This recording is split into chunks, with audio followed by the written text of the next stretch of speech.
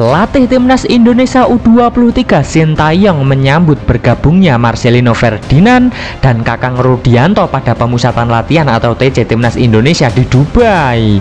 STY senang kedua pemain tersebut sudah tiba. Kini timnya bisa fokus untuk mempersiapkan diri tampil pada laga perdana Piala Asia U23 2024 melawan sang tuan rumah Qatar. Marcelino akhirnya bergabung dengan timnas Indonesia U23 setelah mendapat izin klub klubnya KMSK Dains. Sementara Kakang menjadi pemain tambahan untuk menggantikan batalnya Nathan Jo bergabung.